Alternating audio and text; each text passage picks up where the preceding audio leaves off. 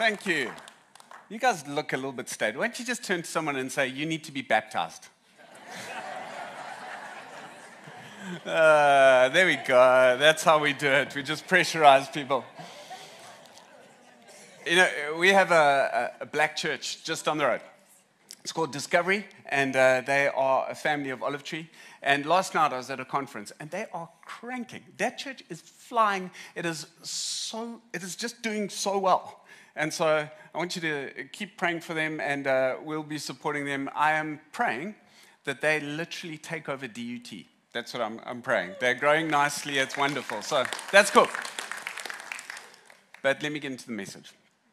So I have a, a mate, and he's a cross between a Neanderthal and a very big human. I'm not quite sure. He's, he's one of those guys who can like bench press 65 kgs on each side with dumbbells. And, um, and anyway, he runs a gym and he's an MMA fighter. And if I wasn't such good friends with him, I'd be really scared of him. In fact, when you look at him, you, you kind of think, I think he could kill me with that jaw. Like, that's the kind of guy uh, that I'm, I'm talking about.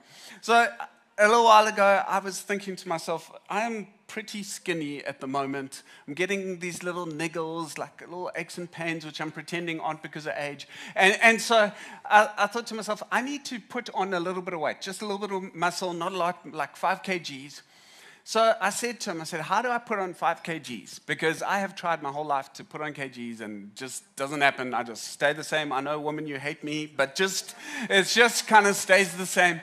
And, and just, ladies, just imagine for a guy, you want to get a little bit bigger and a little bit stronger. For ladies, you, you might not. But I just wanted to like get a little bit of muscle.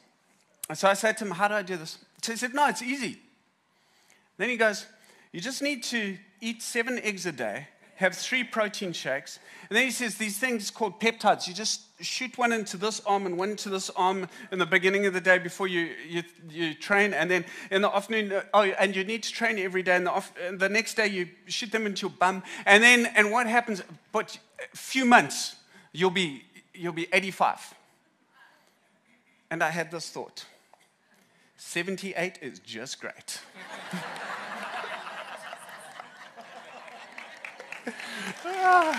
you see,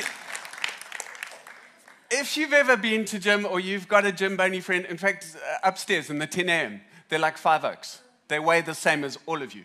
They, they come in. If you know those kind of people, you often look at them and go, Flip, that's amazing. It's inspiring. Just looking at you is inspiring. But that is not for me. The same thing happens in Christianity. You see, we look at some people, like Estelle, she comes up, and you can tell, like, she's just spiritual. Like, uh, you just feel, and you look at her, and she goes, I don't know how she's a spiritual ninja. She probably prays all day. Does she even have a job? she actually runs a business, by the way. And you think to yourself, that's amazing for her. Just not me. And what happens, because we believe that something is so far away, is we disqualify ourselves from it.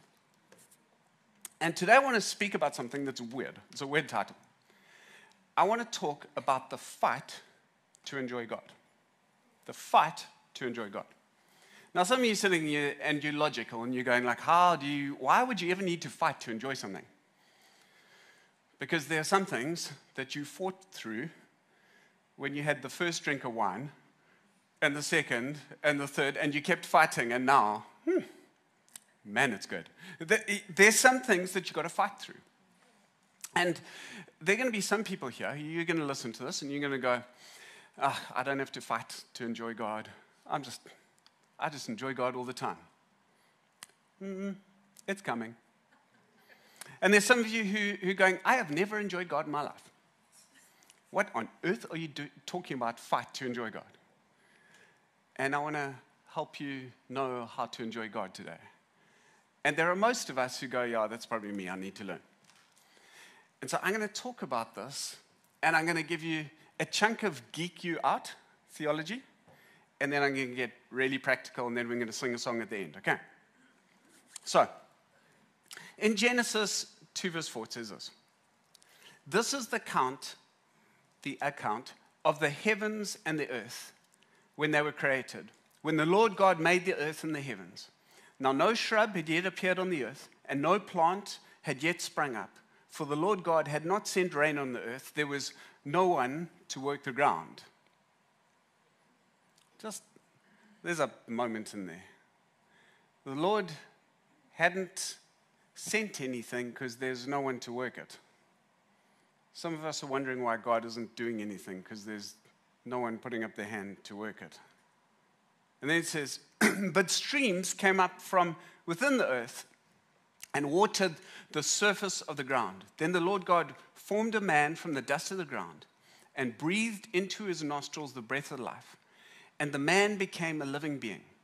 Now the Lord God had planted a garden in the east, in Eden, and there he put the man he had formed.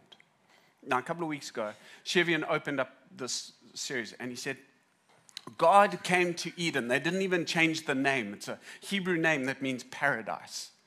And God so wanted to be with man that he set a garden and he made it so that Adam would be able to connect with him. He chose a place. And Adam turned away from God, so God made a tent. And God would walk around in the tent. And then every now and again, man would turn away from God. And then God would draw them back and they'd go back to the tent. And then eventually that didn't work. So God went, okay, David, build a temple. And David builds a temple, a building. And God would come to dwell with man in the temple. And that kept going, kept going, but it wasn't good enough for God. So God sent Jesus. And Jesus became the dwelling place of God with man. And everybody could connect with Jesus. But that wasn't enough for God because he could only meet with so many people at a time. And so he went to the cross so that we could become the temple of the Holy Spirit. Now, that whole story is called temple theology. And um, when you read the Bible, so this is maybe for those who've been Christians for a little while, there are different ways to read the Bible. So there's, there's a way some people read the Bible, it's called Reformed theology. The, the way you read the Bible is you go, there was a creation, there was a fall, Jesus came to redeem us, and now he's renewing us by the Holy Spirit. That's called a Reformed lens. There is a lens called a kingdom lens. A kingdom lens is you read the Bible, and everywhere you look in the Bible, you're looking for Jesus the King. And when you read the Old Testament, you realize that it's a context, a setup for Jesus to come as King. And everything Jesus preach, preaches about, the thing he preaches about the most, is the kingdom of God. And we know that he will be king when he comes back, above all rulers and authorities and reigners. That's kingdom lens, and we would have that. Another way of reading the Bible is called Trinitarian. Trinitarian lens is this that Father, Son, and Holy Spirit. And Jesus comes to show us the Father. The whole thing is about the Father. How do I bring you to the Father? And when we think about the Bible, we're thinking Father, Son, Holy Spirit, we're thinking family. And God reconciles us, He adopts us into His family because He's always wanted you to be family. This is reading it through a Trinitarian lens. lens. And when you read about the Trinity, they're always boasting about each other. Jesus going, My dad's the best. And the Father's going, No, no, no, my boy, he is the best. The Holy Spirit's going, Man, I, I just want to tell you about Jesus. He is a rock star. And Jesus is going, I got to go. Because the Holy Spirit, when He comes, He is, he is the best. And we look at the Trinity, and when you read the Bible that way, you go, Man, God just wants family. And He wants to bring me back. And none of these lenses are wrong. But when I speak about enjoying God, I talk about temple theology. And so I'm going to geek you out, and I'm fine with that. You'll just yawn, and then you'll come to the point, and then you'll cry, and then you'll praise God. When you want to really go deep with God, you need to understand this temple picture. Now, last year, lots of you went there, but I spoke about Eden as a temple. And what I said, I think we got some pictures to keep you awake. That's not Eden? Oh, that's Eden. In the Garden of Eden, or in Eden, there were three places. There was Eden itself, there was the Holy of Holies. And out of the Holy of Holies, if you went a little bit further, you would have the holy place. And then if you went a little bit further, you would have the outer courts. The temples always looked the same. This is the architecture of God. There was like this holy, holy place, and then there was a little outer court, and then you would go a little bit into the outer regions of the world. And in the holy place, there was a priest. His name was Adam. He was instructed to tend and keep the garden. The Hebrew words for those are the same words given to a priest. You're to tend or serve and keep and guard the temple. The, Adam was the first high priest. He was there to minister before God and grow the temple. There was a, a tree of life. And if you went into the temple, there was this little candelabra thing that was shaped like a tree. And it was supposed to bring life. When, when Adam got kicked out, there were these cherubim. These dudes kept Adam from coming back in. They had fire. You know what they had on the top of the mercy seat in the temple was cherubim. You know what God's doing?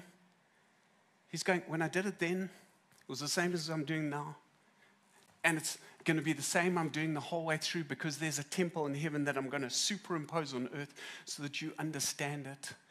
And when Jesus comes, and one day he gets up and he's standing next to this beautiful temple. Show me that beautiful temple, next the one you had before. He's standing next to that. Now, that's kind of impressive nowadays. Imagine 2,000 years ago. You stand next to that, you're just like, yo. And so Jesus says, Destroy this temple, and I will rebuild it in three days. And the Jews go, It took us 46 years, dude. Do you know how heavy these rocks are? And then the writers of the New Testament go, But he wasn't talking about the building, he was talking about his body. Now, here's the big idea. If you really want to enjoy God, if you're serious about your faith, the more you understand about the temple, the more you'll understand about Jesus.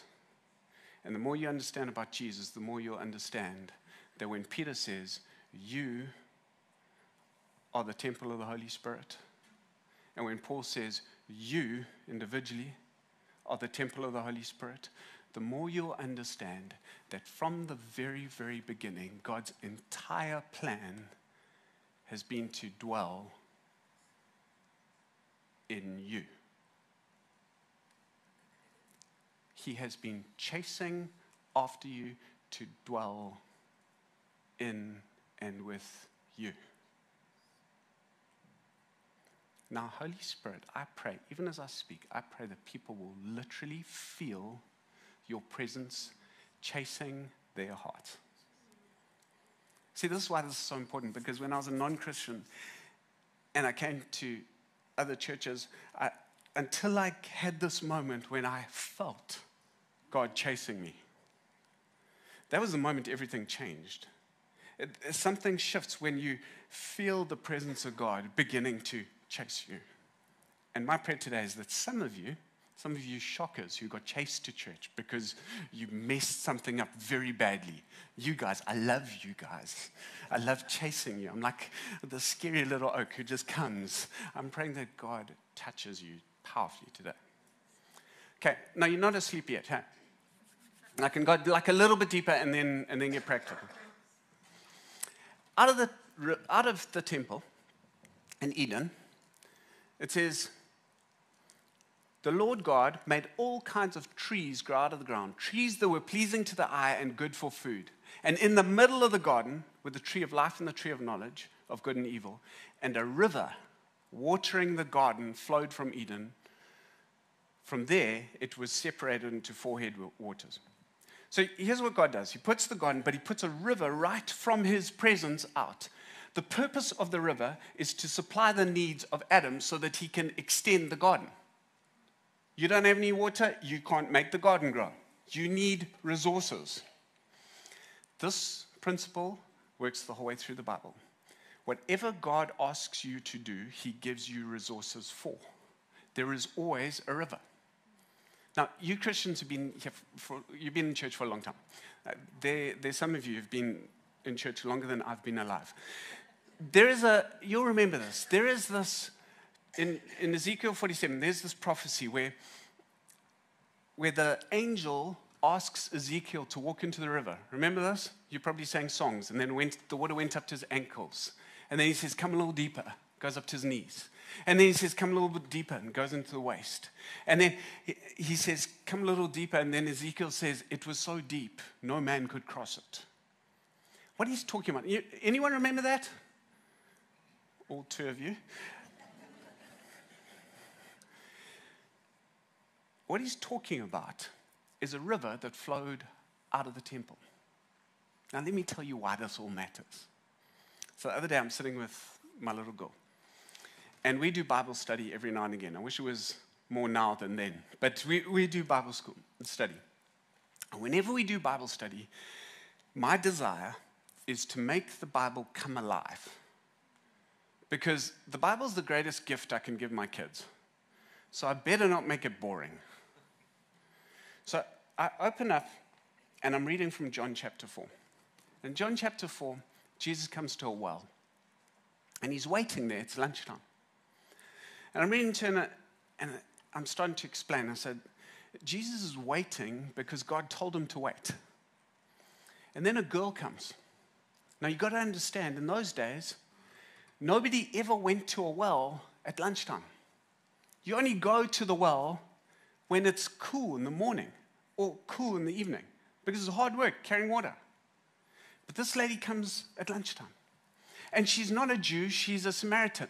And it's like apartheid. They hated each other. And, but this girl, she comes at lunchtime and Jesus starts talking to her. And Jesus says to her, Will you give me a drink of water? And my girl's like, Okay, dad, get to the point. And I say, and she says, But I'm a Samaritan, you're a Jew. Why would I help you, basically? She's, she's actually quite cocky. And uh, she's a little bit funny, actually. She's sarcastic to Jesus. And so Jesus said, If you knew who was asking you, you'd be asking me for living water. So then she changes the subject. She's like, Ah, this guy. And she goes, What about you guys think we must worship there, but we think we must worship here. And he goes, he just brings us back. He says, No, in time, you will worship in spirit and in truth. And every time she tries to sneak off, he just goes after her. Jesus is horrible like that. He just, he won't let you run away. And then he says, Why don't you go call your husband? I mean, this is a dirty trick. Because Jesus has a word of knowledge about what's been going on in her life. And she goes, I don't have a husband. And Jesus says, You're right. You've had five. And the man you're living with now isn't your husband. And I told her that, and I just began to weep. Not ugly cry, dignified cry. but I just began to cry because she's been taken in and tossed out and taken in and tossed out and taken in and tossed out and taken in and tossed out and taken in and tossed out. And now she's been given she's given up for being taken in. So she's just abiding with. And the reason she's abiding with is because in those days the Syrians ran the country for Rome. And the Syrians would rape and brutalize any woman on her own and generally, if you're a woman on your own, you would go into poverty, so you'd probably land up in prostitution. And she's just found something that works for now. And Jesus says to her, I've got living water. And as I'm telling her the story, I know that I have been that woman who feels like I'm taken in and then rejected, and then taken in and rejected, and then I try this and it doesn't work. And I, I have felt that pain. And I'm telling you the story, and I'm so identifying with a woman, but I've also felt the living water that when it touches your soul, it brings life to dead things. It's like the temple in Ezekiel, it flows into the Dead Sea. Can I show you a picture of the Dead Sea? Here's, here's a Dead Sea. Tom, you got a Dead Sea for me. That's the Dead Sea. You, you know why it's nice and colored like that? Because it's eight times as salty as the sea. Because nothing flows out. Her soul is like the Dead Sea.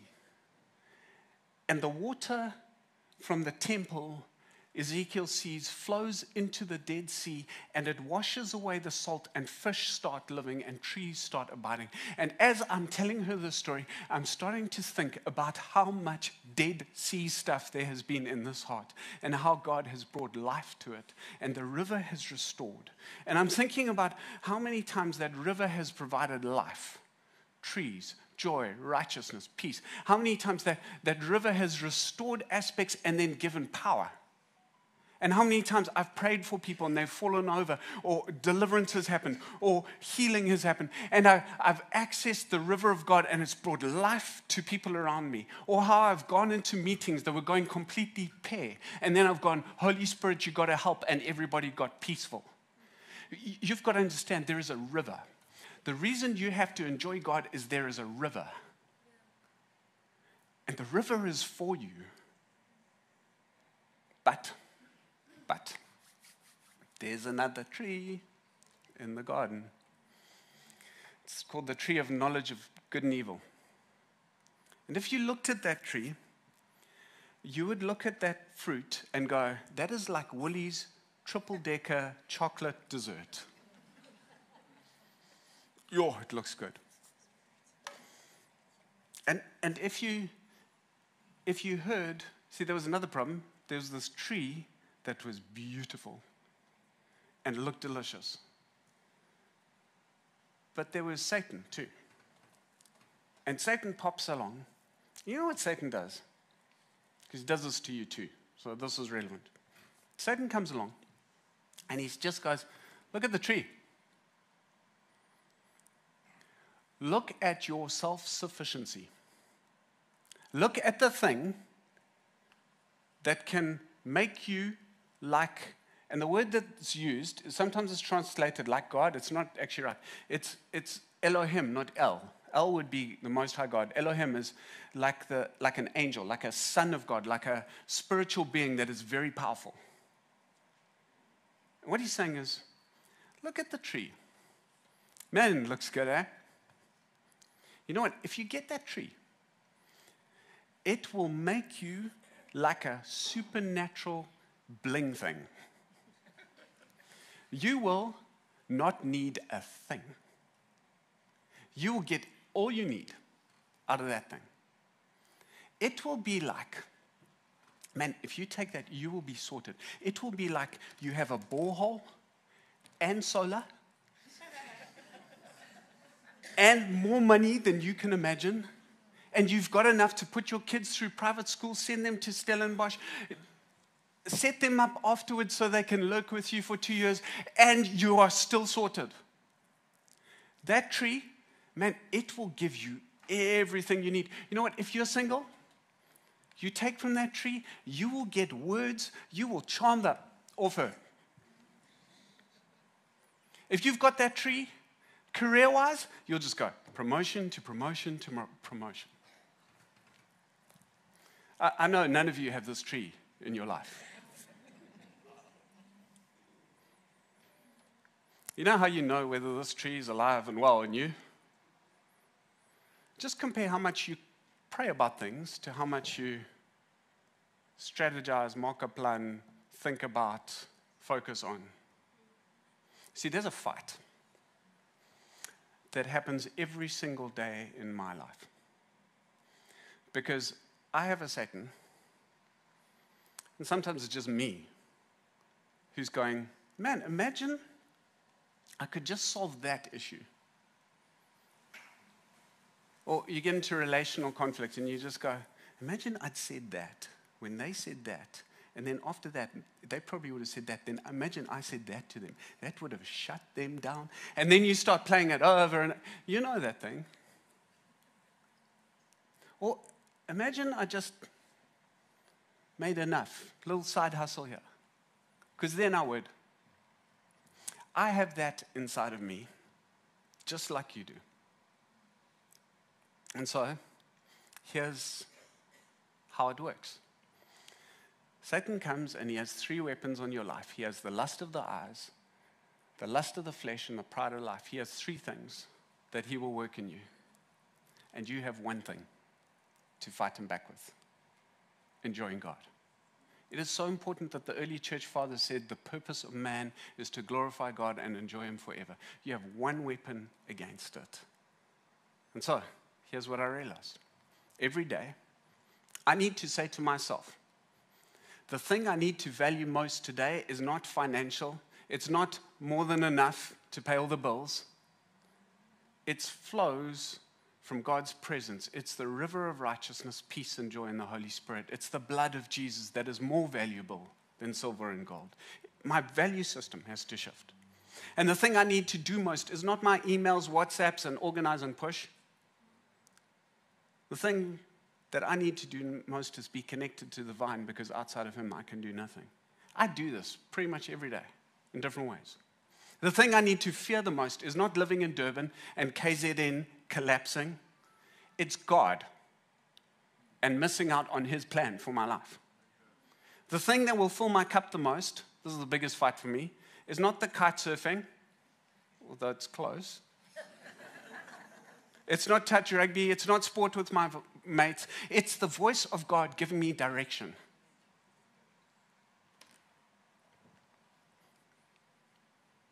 You see, we're going to sing so the worship guys can come up.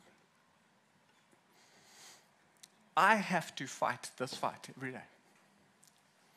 I have a fight to enjoy God. And I have to fight the pull.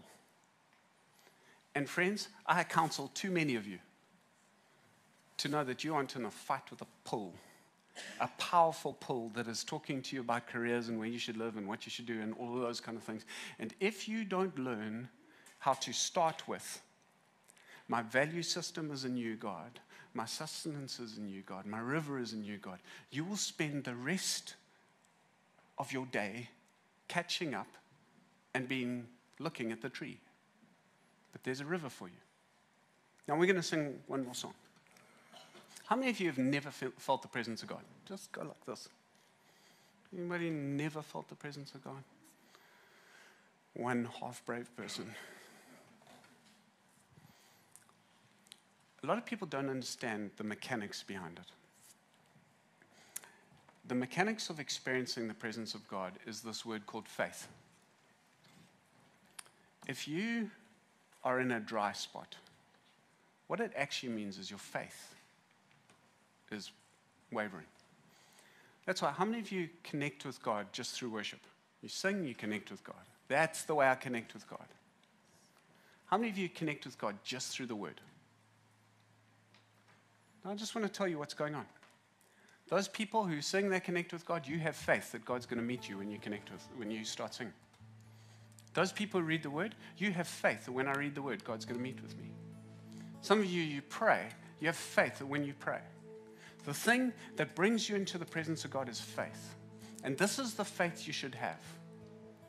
He's holy, but Jesus made me righteous.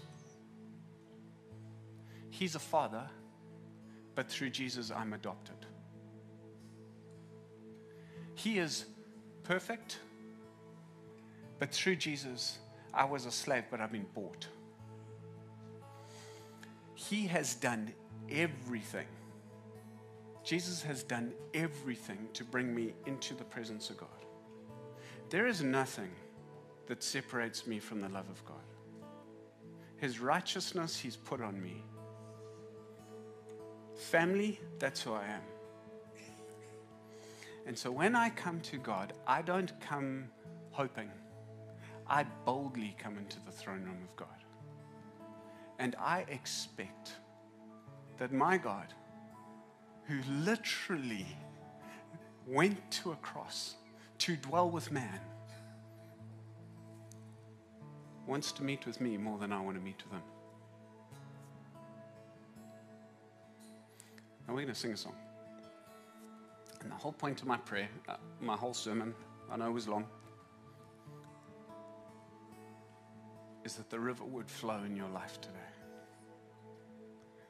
I want, I want it to flow. You need the river more than you need the other stuff. You need the river. He has what you need, and you need it more in Durban than you do in Cape Town.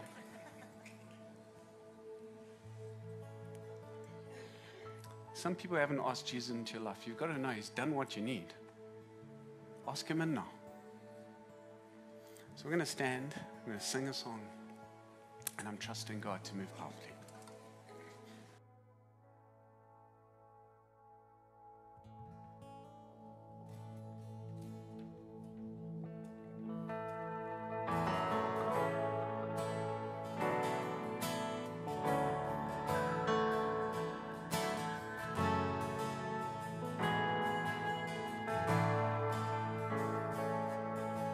Blessed those who run to Him, place their hope and confidence in Jesus.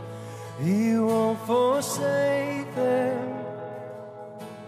Blessed those who seek His face, who bend their knee and fix their gaze on Jesus. They won't be shaken.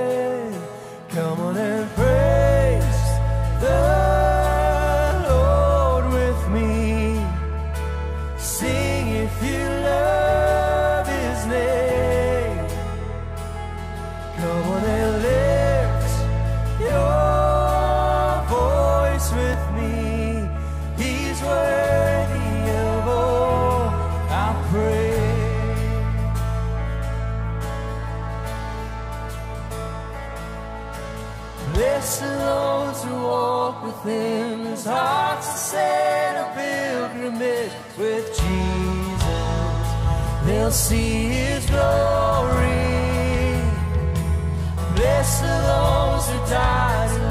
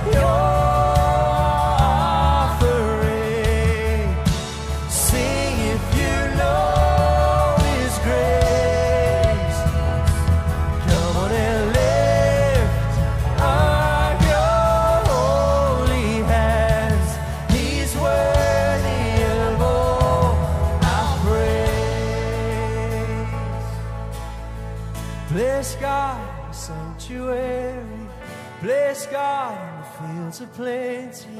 Bless God in the darkest valley. Every chance I'll get, I'll bless your name. Bless God when my hands are empty. Bless God with the praise that costs me.